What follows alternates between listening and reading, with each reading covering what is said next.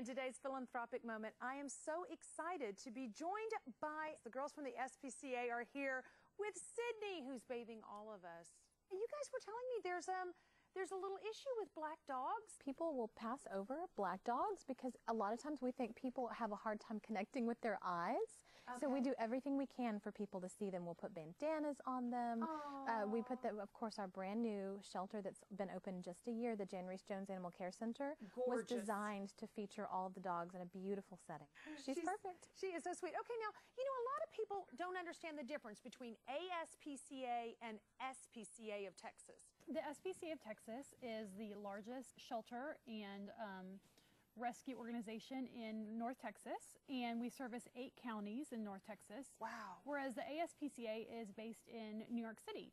So a lot of people um, get confused by the different advertisements on TV um, and though the ASPCA is wonderful, the SPCA of, of, Texas services the community that we live in.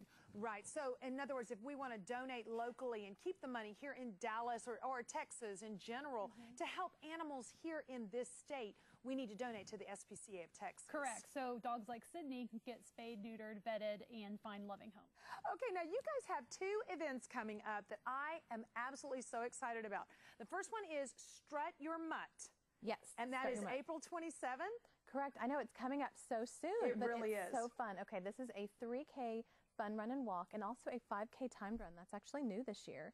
Um, this is the ninth year we've had Strut Your Mutt. It's going to be at Fair Park in Dallas, and that's just people can register on our website right now, and actually they can raise money. They can start their team. We make it really easy online, and the goal is to uh, to, to raise all the money to benefit the animals and the programs at the SPCA of Texas. And you'll ha also have pets available at Strut Your Mutt for adoption. And we'll also have a lot of fun stuff going on for families, for just people and their dogs, and everybody. So come on out and uh, do, just do a lot of good for a wonderful cause. Okay, now we've also got my favorite, the Fur Ball coming up in September. Such a fun event. It is slated for September 21st, okay. and this year it will be at the Omni Hotel, which, as you know, is the, oh, the newest new. hotel in Dallas, yes, and it's gorgeous. fabulous.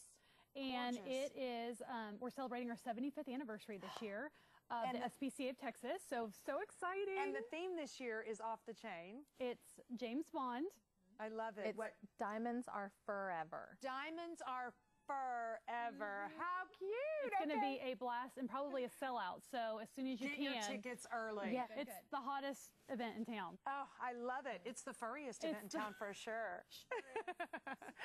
well, there you have it. If you are interested in Strut Your Mutt on April 27th or the Fur Ball in September, then get your tickets online at spca.org. Yeah.